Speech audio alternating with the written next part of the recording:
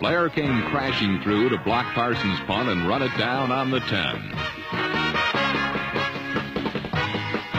From there, it was an easy score, the Vikings' first of the game, and against the Bears' lowly defense, there was absolutely no reason to think it would be their last.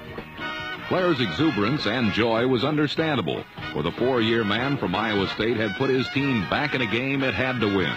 For the Vikings were well aware what a victory would do for the Bears today. We're able to make a trade. Third down three, and Avellini loses the handle, tries to fall on it, and it's going to be number 77, Mark Mullaney, and he flips it out to Matt Blair. And that's gone. and There's a flag. Flag is down. Wonderful things are happening at Soldier Field. Well, it's Monday Night Football after all. Avellini dropped the ball, picked up by Mullaney. He threw it out to Matt Blair. Downfield, I think that number 69. This one again. Avellini bobbles the ball, never gets the handle on it. Mullaney, defensive left end, coming in. As Avellini bobbles it again.